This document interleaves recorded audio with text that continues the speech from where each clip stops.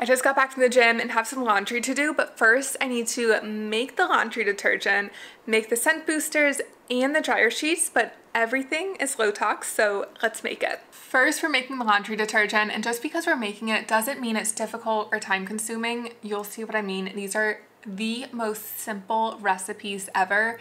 They'll also save you money and they're just made with the cleanest ingredients. So it's a win all around. Okay, so for this, we're just gonna fill this up with vinegar. Your clothes will not smell like vinegar at all um, when you use this. And then we're going to add 30 drops of any essential oil that you want.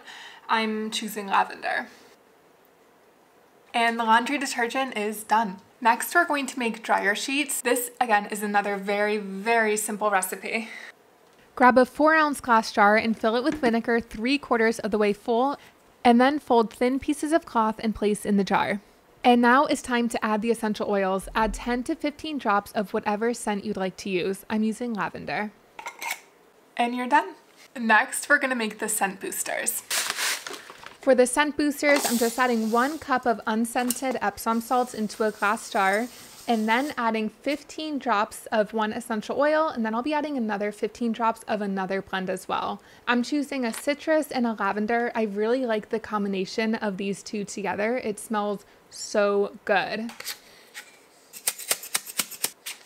I have a list of all my favorite essential oils linked below. I use many different brands, so it's kind of a good mix of like the best of the best.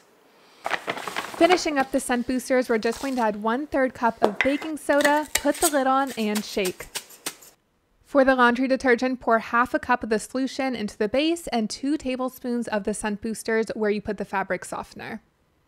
For the reusable dryer sheets, just throw one in the dryer per load. And we're done. Subscribe for more simple DIYs.